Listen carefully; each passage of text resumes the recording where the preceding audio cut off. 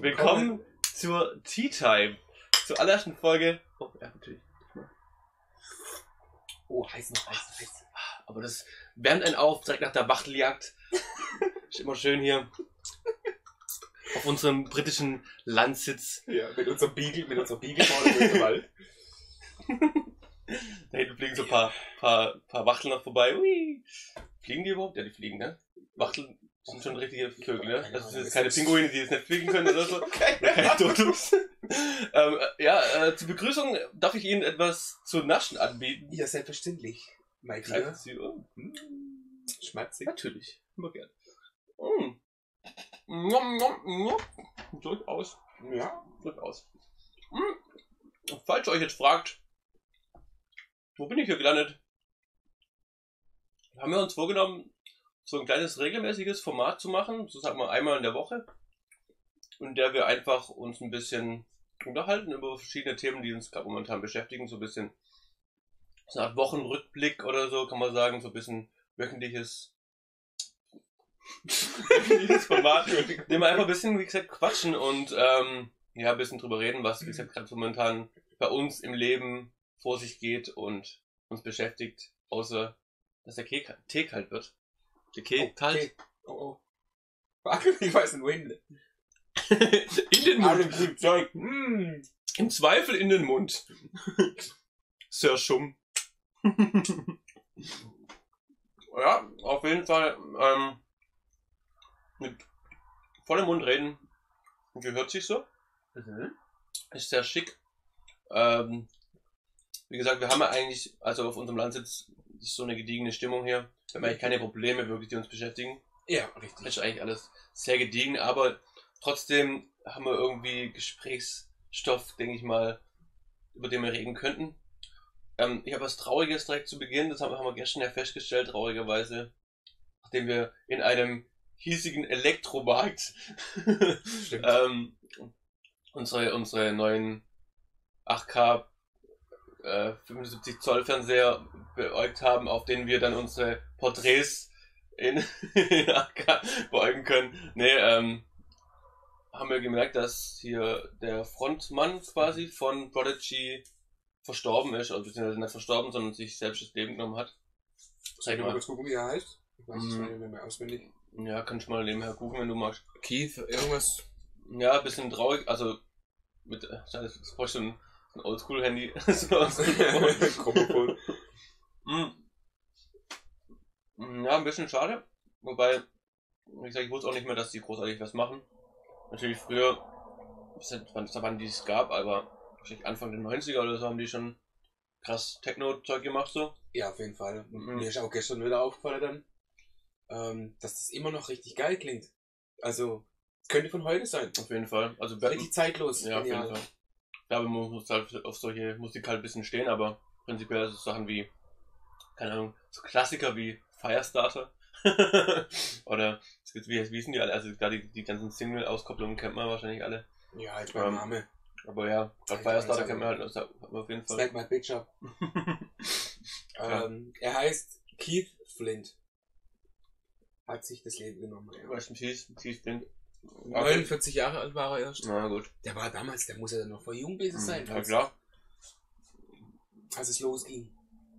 Wenn man es Wahrscheinlich waren die jetzt so 25 Jahre oder so grob im Biss.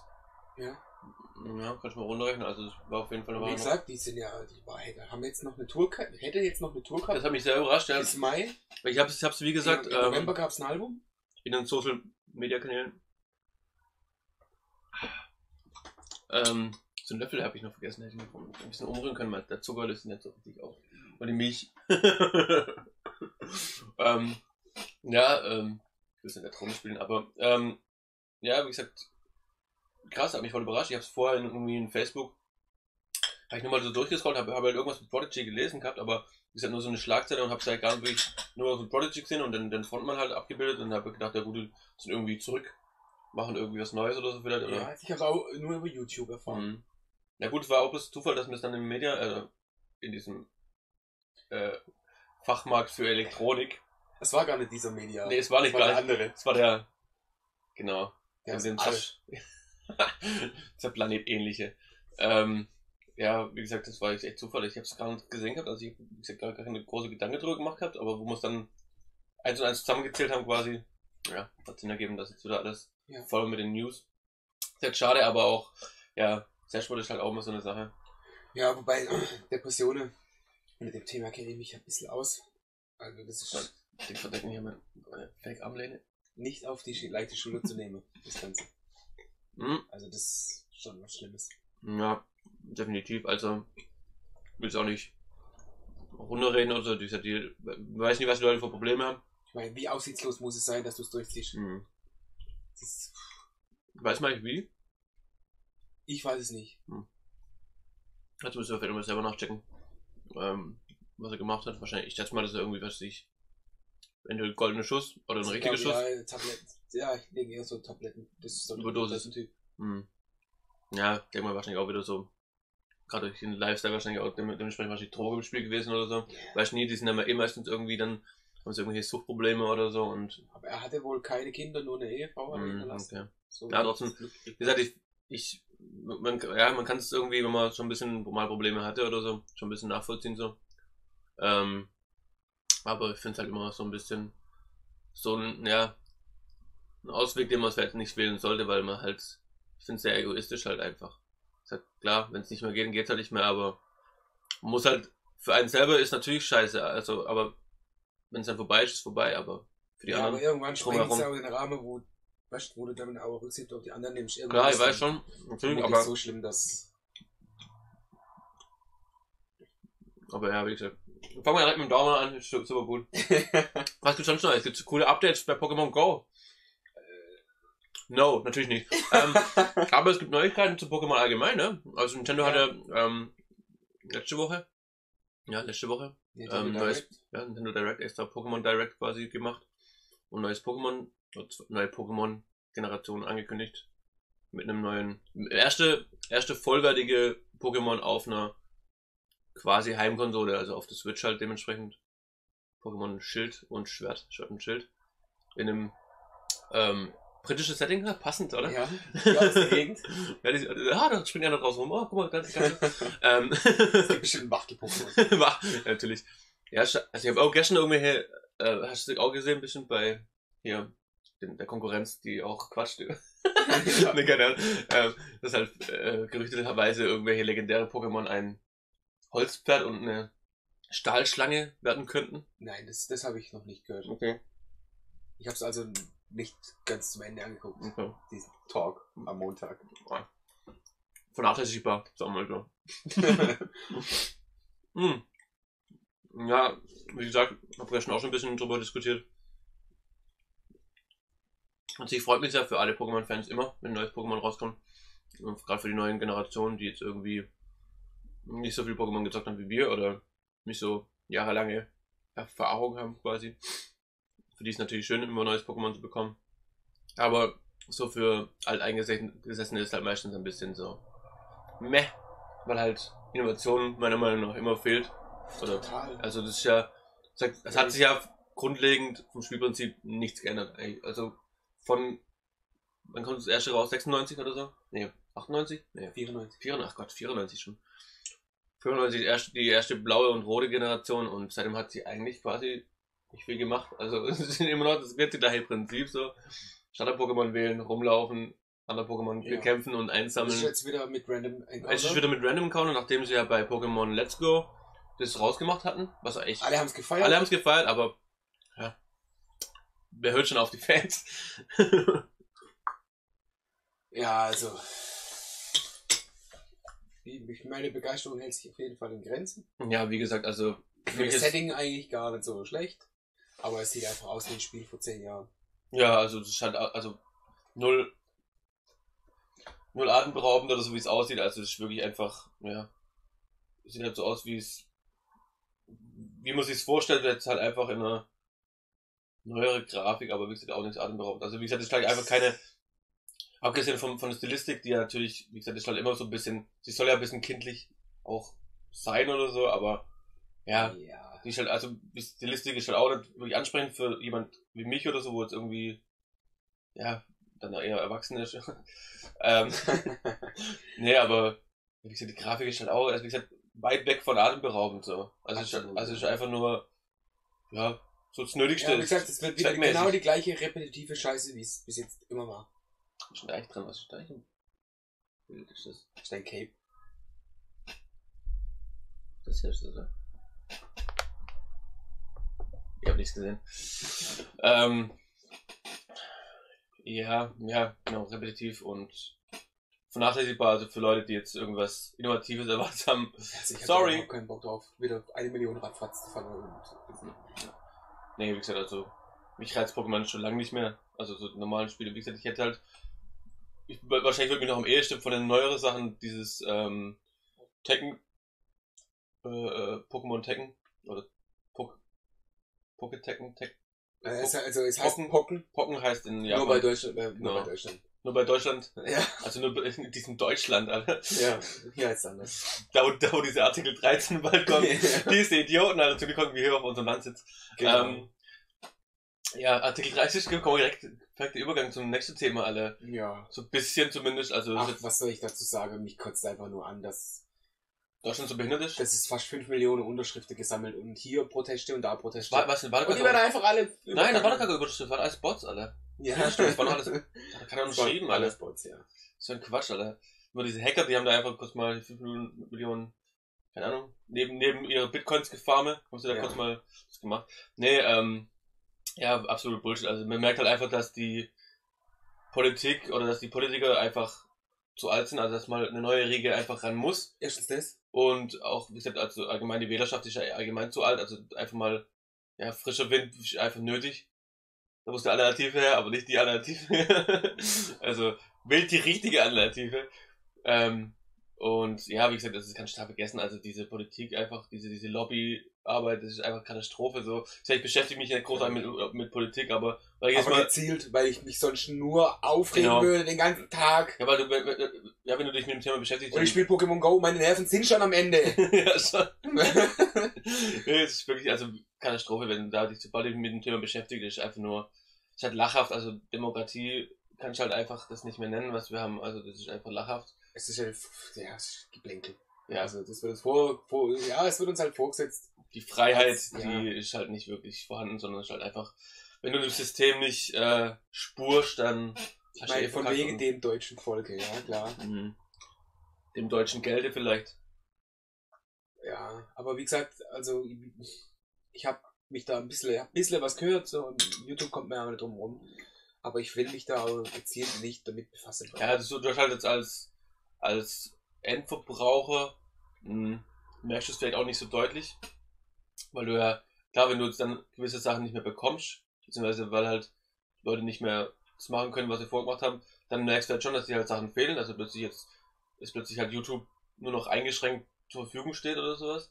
Klar, aber im Großen und Ganzen bleibt er mir nicht mehr innerhalb von, ja gut, okay, das sollte ich jetzt vielleicht nicht sagen, aber ich kann mir nicht mehr innerhalb von vier Sekunden jedes Lied runterladen, Bock hab. Na gut, das sowieso, ja. Also sowieso natürlich dann nochmal, wenn du es illegal, wenn du irgendwas illegal machst oder halt irgendwas, äh, sag ich mal, äh, äh, nicht so ganz, ja, rechtlichen Weg, dann ist es noch- nochmal schwieriger. Da, darauf zielt es wahrscheinlich auch, oder das ist die, Aus, das ist die Ausrede, warum sie es machen wollen. Ja. Die andere Sache ist natürlich einfach nur die, dass sie Geld, mehr Geld scheffeln können dadurch. Ja, das Als halt hättest du nicht Großkonzerne noch so, mehr so Geld genug. ja, das ist einfach das ist der einzige Punkt und ja gerade für auch Leute für mich oder wie mich oder so, so kleinere Leute, die halt gerne irgendwie kreativ sind oder so und oder halt auch wie gesagt viele Webseiten oder so, die halt irgendwie kleine Webseiten, die die sich halt irgendwie nur durch durch was ich durch Fans halt über Wasser halten können oder so. Das kann ich vergessen, wenn du halt dann nicht mehr das machen kannst, was du machst so und ja, dann einfach dich machst und dir halt nicht leisten kannst, die Firmen zu bezahlen, alle für ihren ihren Content, also wenn du ja nicht mal, äh, wie gesagt, zum Beispiel bei mir ist ja auch so, wenn ich jetzt 100 Stunden Let's Play oder so, kannst du ja vergessen dann. Du kannst ja nichts mehr machen. Ja. Ich weiß nicht, wie das ist mit der Es- Monetarisierung, ob das dann, es da auch nochmal Unterschiede gibt, wie es halt momentan auch geregelt ist. Also gerade allgemein bei YouTube ist ja noch, geht's ja noch, weil du hast ja eh schon diese Filter bei YouTube selber, dass du jetzt ja gewisse Sachen nicht verwenden darfst und das dann automatisch ja ge geclaimt wird oder halt beansprucht wird vom, vom, vom Rechteinhaber oder so. Aber wie es dann ist, ob, ob das auch dann für Nicht-Monetarisierung gilt oder nur für Monetarisierung, das weiß ich auch nicht, weil ich das dann ist. Dann halt gar nicht machen darfst, ob- obwohl du gar kein Geld dafür verlangst oder so. Weil, ich meine, damit schneidet sie sich halt teilweise auch ins eigene Also, Fleisch. gehört habe, kommt ja die härteste, wohl die härteste Form von Artikel 13. Ja, also eigentlich quasi schon, also das ist, das ist Also, das muss man überraschen. Aber- Meistens, Ja, ich, ich hoffe halt mal, dass es nicht so schlimm wird, wie es jetzt halt auch teilweise kommuniziert wird, aber ja, ich frage halt, frag mich halt, wie sie es umsetzen wollen, weil sie selber ja keinen Plan haben, wie sie es machen wollen. Die Idioten, ja, es ist erstmal so ein sowas zu planen, aber gar keinen Plan haben, zu, zu wie, wie überhaupt zu machen. Also, ist genau wie, Bre- wie unser Britannien mit dem Brexit. ja, ja. Keine Ahnung von gar nichts. Bisschen raus, aber ey, äh, warte mal, wir brauchen doch vielleicht doch noch ein paar Sachen von euch, so, hm, Ja. mal jetzt, mir auf Das unser ist Land jetzt auch jetzt hier im März. Ende März ist doch No Deal Brexit. Ja. ja, stimmt. Aber ja, ich bin mir. bin ich mal gespannt. Ja, wie gesagt, also das ist alles so immer leicht gesagt, ja. Weiß gar nicht, was es sonst noch momentan in der Welt gibt. Schon, sch- also läuft alles wie, wie üblich, ne? Wir haben irgendwelche komische Leute an der Macht, die einfach nicht mehr ganz sauber sind. Ja. Trump, kleine, Ja, kleine, kleine, Ja. kleine äh, Topfnit-Asiate und hier unseren der den einfach. Das sagt doch das Wort nicht. Ja, ich nichts gegen nichts gegen, also aber der Typ Alter könnte einfach direkt einfach über Haufen geschossen, Alter, meiner Meinung nach. Ich frage mich ab und zu mal, frage ich mich. würde sie ja es alle so viel- machen, aber der hat Atombombe. Ja, aber wenn er tot ist, dann kann er sie nicht mehr zünden. Also, zum Beispiel, wir kann wissen, was, was die CIA und irgendwelche anderen ähm, Vereinigungen ständig für, für Zeug machen. Weißt Dann können sie doch mal so einen Typ da um die Ecke bringen. Ich meine, ganz ehrlich, Alter, Wahrscheinlich würde für irgendwas. keiner, keiner hat, hat Hitler ist, vermisst, ist oder? irgendeine Figur in einem Schachspiel. Ja, wahrscheinlich schon. Wahrscheinlich ist leider immer so, ja, dass irgendwelche anderen Sachen dahinter stehen, aber Ja. weiß halt nicht. Uh, uh, immer noch heiß. War nicht so gemeint übrigens, war nur ein, soll nur ein Ausdruck Ein, meiner, ein Upsi. mein, meiner, meiner Rage darstellen. Ich habe nichts gegen, gegen irgendwelche, wie man so schön sagt, Br Br äh, britisch korrekt, ja, politisch korrekt, britisch korrekt. Ähm, nee, Quatsch. Ja, Äh, wir haben uns ein paar neue Games gekauft. oh, das könnte, ja, das können wir eigentlich auch, das können wir eigentlich mal kurz, äh, ähm, ja, Ich habe mir endlich Dishonored 1 und 2 geholt. Und Nachholen. mal nachzuholen, stand über mein Haupt. Ja gut, okay, das sind jetzt auch keine Spiele, wo jetzt, glaube jeder, also es kam, war ich schon, glaube ein bisschen ein Wunder, dass da überhaupt ein zweiter Teil rauskam, wobei der erste Teil, glaube bei den Fans mega beliebt war, aber es auch kein Verkaufsschlager war oder so. Ja, also ich finde einfach das Setting mega geil. Da werde ich heute Abend wahrscheinlich mal kurz reingucken. Ich finde es auch, also Ich muss halt, eh- wenn ich damit anfange, ich muss eigentlich erst Alien Isolation durch. ja, das das ist ist halt, halt schwere Kost. wobei ich glaube, der Eins ist nicht so umfangreich, den kannst du eigentlich, wenn du jetzt nicht gerade dich komplett ablenken lässt von allem möglichen drumherum. Wenn. Aber auch so, also das ist jetzt kein, kein 50-Stunden-Spiel oder so, das, ich glaube, in sieben Stunden oder so durch. Also, weiß nicht, wie, ich habe kein, kein genau Ding, wie lange es dauert, kein genaues Wissen, aber auf jeden Fall nicht so groß. Eine Zweier weiß ich gar nicht, also zwei habe ich selber nicht großartig gespielt, aber das können wir eigentlich auch mal zusammen machen. Seit eins habe ich ja immer noch auf dem Schirm, ich habe den mal angefangen vor Ewigkeit. Du hast ihn auch selbst noch? Nee, nicht ganz durch. Also wie gesagt, ich habe angefangen zu Let's Playen und hab, bin auch schon relativ weit gewesen. Müsst ihr ja mal gucken, dass wir den Film noch fertig. Kann man eigentlich auch noch dazu kommen. Neue Formate. So, was ich gerade momentan vor. Das hatte ich ja schon länger vor, dieses Format, ja. Einfach durchgezockt so. Ich habe gelernt, ich habe hab schon einen Namen gehabt, aber ich glaube, ich nenne es irgendwie Endgame. Fand ich ganz witzig. Ähm, mal gucken. So, dann kann ich mal ein paar Spiele endlich mal äh, vollenden, weil es ja irgendwie Ich meine, The wenn Pile ich of Shame. so umguck, ich habe gar nicht zu zocken, Alter. noch vier Jahre durchgängig. Ich habe gesagt, Alter, wenn ich, ey, ohne Scheiß, ich, wenn ich für ein, zwei Minuten jetzt gestartet werde mit meinen ganzen Spiel, Spiele, Alter, ich, gut, Alter, kann man von zehn Jahren, das darf der Insel lassen, Alter, ohne Probleme, Ja. so, also ich könnte da auf jeden Fall mich beschäftigen.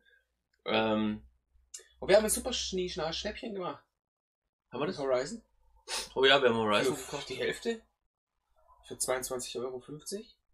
Haben wir uns beide geschnappt. Ja, in der Complete Edition natürlich. Ich hab's ja schon, in der normale Version habe ich ja schon gezockt und auch da, und ich habe das Add-on auch gekauft, das habe ich da gedacht für die Sammlung, und das war die Complete Edition und ja, ist halt ein mega geiles Game, also Da Ja, macht man auf jeden Fall nichts ich falsch. Im, ich hab's im Kino gesehen. Oh. Darf mal das noch zwischendurch. Ähm, ich mal so Schoko. Äh, ja, im Kino, Alter, stimmt ja, das, ja, cool. Wer es Im nicht. Kino gezockt auf der Playstation. Ja. Ich habe zu meinem 30. Geburtstag von meiner Frau habe ich ähm, ja quasi ein Kino be- gemietet bekommen und durfte da auf der großen Leinwand mit meiner Playstation zocken. Mit meinen ganzen Kumpels um mich rum. Und es war relativ mega geil. Also cool, ja. kann man mal machen. Also für alle Leute, die jetzt noch keine Idee haben, was man zu einem coolen Runde Geburtstag machen kann, dann ist das absolute Empfehlung auf jeden Fall. Ähm, ja, habe ich Horizon gezockt, habe ich erstmal so einen fetten T-Rex-Dinger da gelegt. Ja, Das war richtig cool, ey. Hat richtig vor gut gepasst. Publikum. Ja, mega geil. Ja, aber wird war cool. ja. Aber leider nicht jedes Jahr. Also, Schon wieder zwei Jahre her. Oder? Mhm. hm. Sag mir, wie alt ich bin. Sie wissen auf jeden Fall, dass du zwei Jahre älter bist als der Runde. Nee, ich habe gerade schon dem 30. Muss also. man halt sagen, dass du 42 bist. Man sieht das Alter halt zum Glück nicht an, das ist gut. Außer bei der Augenringe vielleicht oder so. Ich- Das ist macht aber das Licht von da oben. Hm, Ich denke ja. auch bei mir, ich sehe aus Schatten wie stört ein... Schatten. Wirklich, habe ich gar keine Augenringe. Ich so Greenscreen, wo das macht. Ja. Das ist der, das ist der al- alte Filter. ja. Wegen dem Look. Ähm, ich kann mal kurz die Spiele zeigen, oder? Habe ich wo habe ich sie hingelegt? Da drüben irgendwo, oder? Jetzt laufe ich mal kurz hier durchs Bild. Uh, uh. Meine gute Hose, passende Hose. Die, die Korthose war in der Wäsche. Ja, Mann. Oh. Oh. Cool. Das war jetzt geplant. Warte mal. Hui. Der Stapel voll mit Zeug. Die, ausgegreent. Wir haben einen durchsichtigen Yoshi gefunden. Der ist Ja. ganz, ganz selten, Alter. Das ist Geil, oder? Limited Edition von Yoshi. Er ist grün. Und ich weiß nicht, warum der ausgeblendet wird. Keine Ahnung. Also, komisch. Komische Kamera manchmal. Hm. Was richtig Cooles was wir gefunden haben. Es gibt Blu-Rays. Was hab ich schon gesagt? Ah ja. Blu-Rays mit Deadpool-Cover, wo aber nicht Deadpool drin ist oder drauf ist, sondern es ist wirklich dieser Film, es ist wirklich Speed da drin, nur dass das Cover halt eben von Deadpool geziert ist. Oder verziert ist, wie auch immer man das sagen will. Also man sieht jetzt hier ist einfach nur Speed drin. Und hier gibt's verschiedene Versionen. Da gibt's Planet der Affen, X-Men-Teile, etliche. Also lauter also wirklich witziges Zeug und witzige Cover.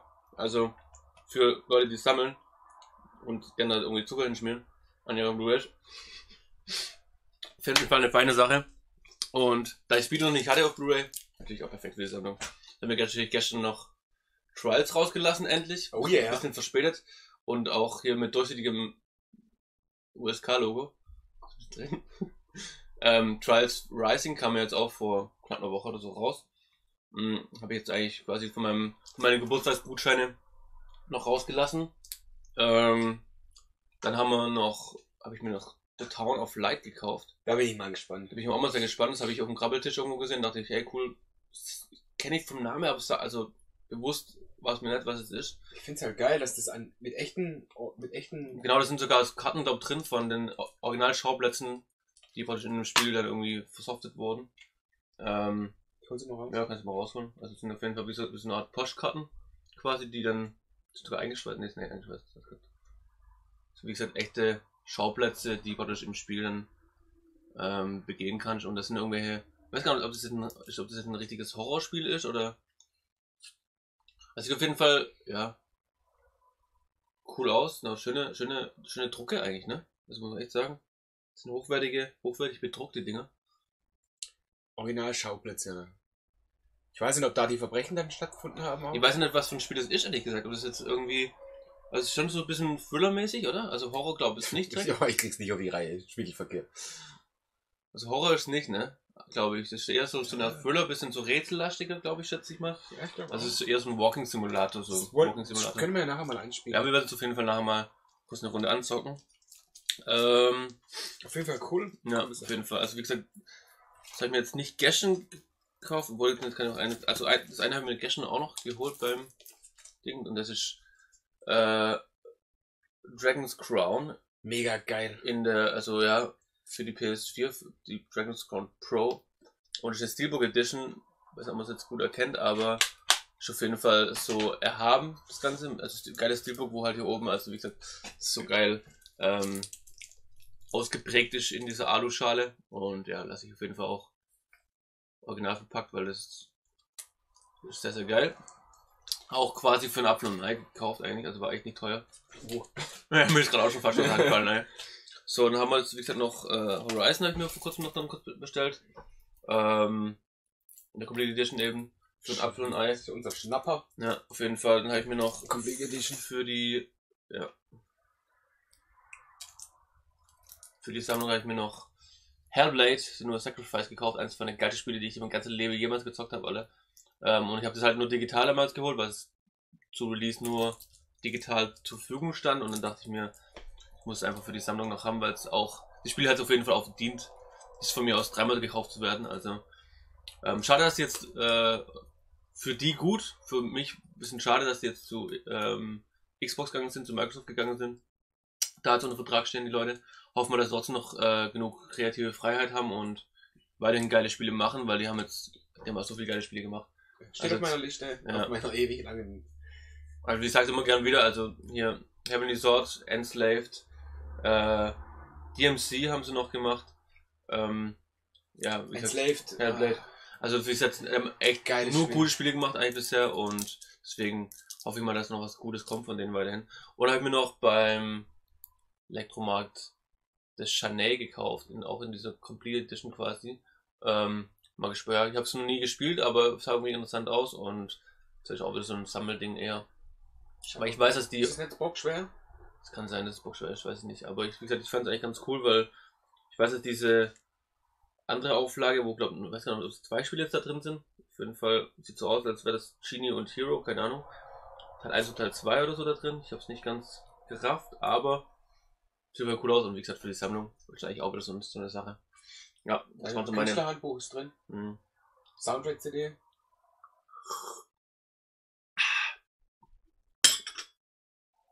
Mh. Und natürlich lauter halbnackte. Ah, okay. Ich weiß, das sah ein bisschen kindlicher aus vom Look her. Ich so drauf geachtet, ob das jetzt so krass anime- anime-mäßig ist. Gar nicht auf die Brüste geguckt. Was? Ja, cool, Mann.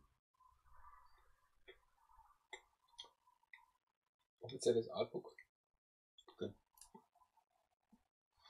Ja, langsam muss ich mein. Cool, cool. Wow, wow, wow. Gott sei Dank war es leer. Mein Tee. Alles okay. Alles gut. Mhm. Kein Tee verschüttet, keine Angst. Im Tee ist alles noch gut. Alles im Tee. Ähm, alles im grünen Tee. Ja, ja egal. ja, so langsam muss ich mein Zimmer anbauen, glaube ich. Also, Du brauchst da einen Balkon. Einen überdachten. ich habe doch eine Terrasse da hinten. Ach so, ja. Eine Terrasse. Schenk mir auch noch jetzt ein bisschen Kasteller Tee nach. Mm, Dosentee. Mm. Er dampft. Oh. Dann Schuss Milch dazu, aber geht auch schon. Mm. Ja, was gibt's sonst noch? Ähm, wie gesagt, ein paar neue Formate habe ich auf jeden Fall im Petto. Was war denn das? Oder hier wird hier Wachteln geschossen wieder. Ei, ei, ei. Mm. Vermutlich. Also ja, wie gesagt, ein paar neue Formate. Wir sind auf jeden Fall unterwegs quasi. Jetzt gleich noch ein bisschen was geschnitten. Und ja, wie gesagt, Gameplay-Videos will ich auch ein paar Stück machen auf jeden Fall. Machen wir nachher auf jeden Fall ein bisschen ähm, Town of Light. Kommt auf jeden Fall dann auch. Und wie gesagt, ja, Tea Time gibt es auch hoffentlich regelmäßig. Mal gucken, wie wir es auf die Reihe kriegen. Aber so einmal eine Woche werden wir hinkriegen auf jeden Fall, dass wir da uns kurz mal eine halbe Stunde, Stunde hinhocken und ein bisschen quatschen über aktuelles Geschehen bei uns quasi. Hm. Was gibt's bei dir noch? Gibt's bei dir noch irgendwas, was du auf dem Herzen hättest, wo du, wo dir einfällt gerade spontan? Nee. Wochenende war, waren wir erstmal wieder auf dem Ich Flohmarkt. sagen, über das Training rede ich nächste Woche, wenn ich beim Wiegen und Messen war. Oh yeah! Äh, Aber sonst. Wiegen und Wessen. Ja. Ja, nee, also dann war es von mir eigentlich auch im Großen und Ganzen alles. Ähm, Freue mich auf jeden Fall auf nächste Woche, wenn wir hier in unserem äh, zum Heli hier auf unser Landsitz fliegen und schießen. wachteln, erstmal nach dem Wachtelschießen dann wieder zum genüsslichen Tee schlürfen können. Und dann würde ich sagen, verabschieden wir uns für die heutige Folge, schlürfen noch ein Teechen. My dear. Und ja, sagen Cheerio, Cheers und Bis dann. haut rein und Adieu. Okay, wenn es jetzt funktionieren würde, wäre es natürlich cool, aber jetzt funktioniert es bestimmt gleich. Ja, jetzt?